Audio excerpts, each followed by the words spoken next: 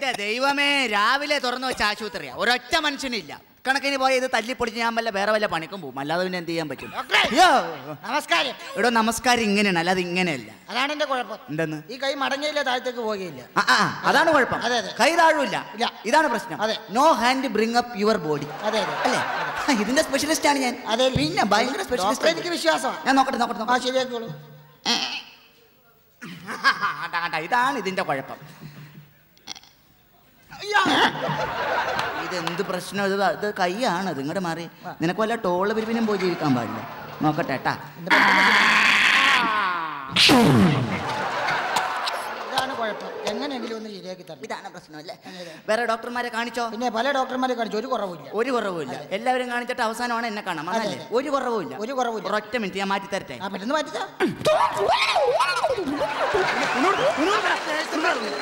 മാറ്റിച്ചാ നേഴ്സുമാർ ഇങ്ങനെ ആകെ നാണക്കേടായിരുന്നു കൈ താന്നില്ലേ? അയ്യോ കൈ ശരിയായി. കൈ താന്നു. എന്റെ ദൈവമേ വലഞ്ഞ കാണിച്ചിട്ട് ശരിയാക്കാൻ ഭയങ്കര പരിപാടിയല്ലേ ഞാൻ? വലിയ ഉപകാരം കേട്ടാ ഫീസാ ഏ? Fees fees. ഫീസ് എടുത്തില്ല. ഇങ്ങനെ കൈ ഇരുന്നാ പേഴ്സ് എടുക്കാൻ പറ്റും ആ കൈ ഇങ്ങനെ ഇരുന്ന കാരണം ഫീസ് എടുക്കാതെ വന്നേക്കണം. ഫീസ് എടുത്തില്ല. ഫീസ് എടുത്തില്ലല്ലേ? അല്ലേ അപ്പൊ നീ ഫീസ് എടുത്തിട്ടില്ല. അല്ലേ? ഇല്ല. കുഞ്ഞിക്കുഞ്ഞായിട്ട് പോയിക്കോ. ആരെങ്കിലും പത്ത് വയസ്സ് ഓ ആ. വൃത്തികെട്ടത്. Come on. എടാ, ഒന്ന് എന്നെ- എന്നെ ഒന്നും ചെയ്യല്ലേ? എനിക്ക് കയ്യെത്താൻ പറ്റി പോയതാ. മേലല്ലേ ഇനി ഞാൻ മരുന്ന് മാറി ഡോക്ടറെ ഞാൻ പറയട്ടെ? എന്റെ മകൻ ജയൻ. ഈശ്വര ജയന്റെ അച്ഛനാണോ? എന്റെ പൊന്നു ദൈവമേ ജയന്റെ എത്ര എത്ര സിനിമകൾ ഞാൻ കണ്ടിട്ടുണ്ട്. മീശ മാധവൻ ആദ്യത്തെ കൺമണി ആരൂഢം വാർത്തകൾ കിരീടം ചെങ്കോൽ ഇതിലെല്ലാം ജയന്റെ അഭിനയം എത്ര മനോഹരമായി പറയട്ടെ. എന്നാ പറ. ഞാൻ ജയന്റെ അച്ഛനല്ല. ഏ? ജയന്റെ അച്ഛനല്ലേ അല്ല. പിന്നെ താനാരുടെ അച്ഛനാണോ എന്റെ മകൻ വാസു അവനെന്താ കുഴപ്പം? അവന് ജയന്റെ സിനിമയൊക്കെ കണ്ട് കണ്ട് ജയനെ പോലെ നടക്കും ജയനെ പോലെ ചിരിക്കും ജയനാന്നും പറഞ്ഞ അവൻ നടക്കണത് ഈശ്വര ജയന്റെ അസുഖമാണോ അതെ. ജയന്റെ അസുഖം എന്നെ കൊണ്ട് മാറ്റാൻ പറ്റൂല ജയന്റെ അസുഖം ഡോക്ടറൊക്കെ മാറ്റാൻ പറ്റൂ ജയനാണല്ലോ അതെ. സുരേഷ് ഗോപി അല്ലല്ലോ അല്ല. എന്നാലും സുരേഷ് ഗോപിയുടെ അസുഖം പിടിവിട്ടോണ്ട് ഒരുത്തിന് ഇങ്ങോട്ട് കയറി വന്നു ഉവ്വ. അവൻ ഇവിടെ മുഴുവൻ വെടിവെച്ചിട്ട് അവസാനം മണ്ണെണ്ണ ഒഴിച്ച് തീ കൊളുത്തിട്ട് അവൻ പോയത് ആണോ? പോണ പോക്കിന് അവനൊരു സാധനം പറഞ്ഞു എന്തെന്ന് സിറ്റുന്നാണോ ആ അത് തന്നെ അത് സുരേഷ് ഗോപി തന്നെ ആ, ആട്ടെ ഇന്ന് ത- തന്റെ മോന് കാണുന്ന കുഴപ്പങ്ങൾ എന്തൊക്കെയാ? ഇവനെന്താ കുഴപ്പമെന്നാ? എന്റെ പൊന്നു ഡോക്ടർ ഈ അസുഖം തുടങ്ങിയ പിന്നെ. മിടിയും ടോപ്പിട്ട് ഏതെങ്കിലും ഒരു പെങ്കൊച്ച റോട്ടിൽ കൂടി പോയാ സീമേലും പറഞ്ഞ് ഓടിച്ചെന്ന് കെട്ടിപ്പിടിക്കും. മാത്രാണ്. തൊട്ടപ്പുറത്തെ വീട്ടിൽ ഒരു പത്ത് മാസം നിറഞ്ഞേക്കുന്ന ഒരു ആട്, ആട്, ആടുണ്ടായിരുന്നു ആട്. ഈ ആടിനെ കുതിരയാണെന്ന് പറഞ്ഞ് ഇങ്ങനെ തടവി അത് ചത്തുപോയി. അവർ കേസ് കൊടുത്തേക്ക്. അപ്പൊ ഇതൊക്കെയാണ് അവന്റെ കുഴപ്പം. അവന്റെ പേരെന്താ പറഞ്ഞ? വാസു. വാസു. വാസു. എന്ന് പറഞ്ഞു വിളിച്ചാ വരില്ല. സീമയുടെ സൗണ്ടിൽ ജയേട്ടാ എന്നെ രക്ഷിക്കൂ എന്ന് പറഞ്ഞാ പറഞ്ഞെത്തു അവൻ. സീമ അവന്റെ വീക്ക്നെസ് ആണ്. അതെ. ഞാനൊന്ന് വിളിച്ചു നോക്കട്ടെ. വിളിച്ചു നോക്ക്. ജയേട്ടാ,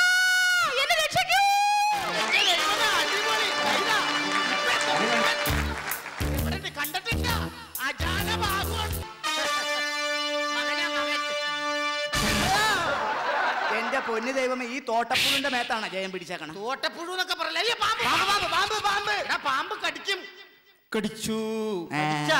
മൂർഖം പാമ്പായതുകൊണ്ട് നാണം കിട്ടില്ല. നീർക്കൂലിയായിരുന്നെങ്കിൽ വൃത്തികേട് കാണിക്കണ്ട എന്നെ തല്ലി കൊല്ലടാ. ഇവനെ ഞാൻ തല്ലിക്കൊല്ല ഇവനെ ഞാൻ സ്നേഹിച്ചു കൊല്ലൂ. പട്ടി. അത് ശരി. എന്താ ഇവന്റെ പേര് പറഞ്ഞ? വാസു. മോനെ വാസു.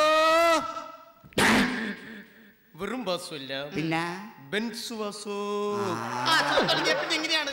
വൈക്കോലും കെട്ടിക്കൊണ്ട് ഏതെങ്കിലും വണ്ടി പോയി കഴിഞ്ഞാൽ പറഞ്ഞ എന്താണെന്നറിയാമോ? എന്താണ്? ജഗ് പോണതാണ്. ഒരു പ്ലേറ്റിൽ ഇഡ്ഡലി തിന്നാൻ കൊടുക്കാനേ പാടില്ല. അതെന്താടോ? അവന്റെ ഷർട്ടിന്റെ ബട്ടൺസ് ആണെന്ന് അത് ശരി. റെയിൽവേ സ്റ്റേഷനിൽ കൊണ്ടുപോകാനേ പാടില്ല. അതെന്താ? ട്രെയിൻ പിടിച്ച് വലിക്കും. എന്തിന്? അവന്റെ ബെൽറ്റ് ആണെന്ന് ദൈവമേ എണീക്കാൻ പാടും ജീവനില്ലാത്ത ഇവനാണ് ഇതൊക്കെ ചെയ്യണത്. ഡാ ഡാ ഡാ എല്ലു കുത്തി കയറി ചാവും. ഇങ്ങോട്ട് വാടാ. ഇങ്ങോട്ട് വാ, ഇങ്ങോട്ട് വാ ഇങ്ങോട്ട് ഇങ്ങോട്ട് വാ. എന്താ നിന്റെ പണി? ശശിമിശ്രയുടെ കൂടെ. കോൺക്രീറ്റ് പണിക്ക് പോകുന്നു. മനസ്സിലായ. ശശിമേശ്വരിയുടെ കൂടെ വാർക്കപ്പണിക്ക് പോകുന്നു എന്നാണ് ആ പറഞ്ഞത്. എന്നിട്ട് ഇപ്പൊ പണി ഇല്ലേടോ ഇപ്പൊ പണി ഇല്ലേന്നോ ഇവന് പണി കൊടുത്തത് അവർക്ക് വലിയ പണിയായില്ലേ? എന്താ? തമിഴ്നാട്ടിൽ നിന്ന് അന്യായ വില കൊടുത്തുകൊണ്ടുവന്ന കമ്പി മൊത്തം ഒറ്റയ്ക്ക് ഇവനിരുന്ന് വളച്ചു കളഞ്ഞു. എടോ വാർക്കപ്പണിയാകുമ്പോ പിന്നെ കമ്പി വളയ്ക്കാനുള്ളതല്ലേ? വളച്ചോട്ടെ. ഇത് മൊത്തം സീമയുടെ വളയാണെന്ന് പറഞ്ഞു കുരു കുരു കുരാന്ന് പറഞ്ഞു വളച്ചു കളഞ്ഞു. എടോ ഞാൻ ഇതാണ് പറഞ്ഞത് ഈ വക കുഴപ്പങ്ങൾ ഉണ്ടെങ്കിൽ ഈ ജയന്റെ അസുഖം മാറ്റാൻ എന്നെ കൊണ്ട് പറ്റൂല. ജയന്റെ അസുഖം മാറ്റാൻ ഡോക്ടർക്ക് പറ്റൂ. എടോ ഞാൻ തപസ് ചെയ്താലും ഈ അസുഖം എന്നെ കൊണ്ട് മാറ്റാൻ പറ്റൂല. ജയന്റെ അസുഖം മാറ്റാൻ ഡോക്ടർക്ക് പറ്റും. ജയന്റെ അസുഖം മാറ്റാൻ എന്നെ കൊണ്ട് പറ്റൂല. പറ്റും. പറ്റൂലോ എന്താ പറ്റൂലാത്ത എന്താ പറ്റൂലാത്തെന്നാ. എടോ ഇതേ അസുഖവുമായിട്ടേ. പത്തിരുപത് കൊല്ലമായി ഇവിടെ ചികിത്സയിൽ കഴിയുന്ന അഞ്ചാറെണ്ണം വേറെ ഉണ്ടോ? എവിടെ? ദാ മക്കളെ.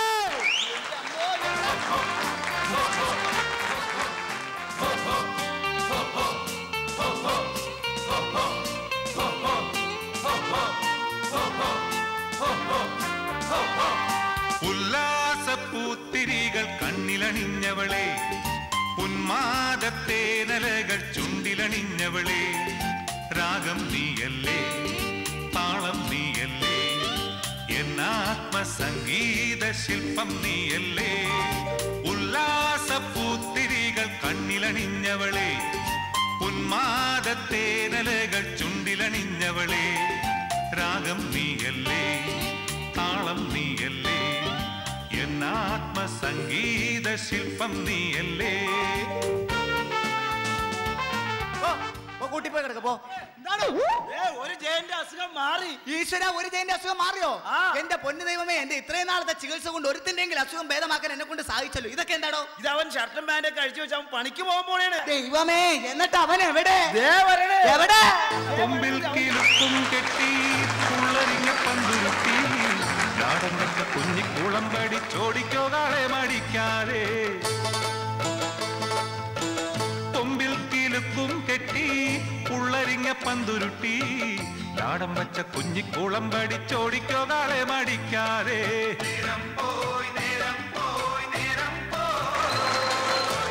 കണ്ണിൽ വിളക്കും വച്ച് കന്നിപ്പൂം പെണ്ണൊരുത്തി. ദൂരയൊരു കൂരയിൽ தேடி தளர்ந்தன் இருப்பானே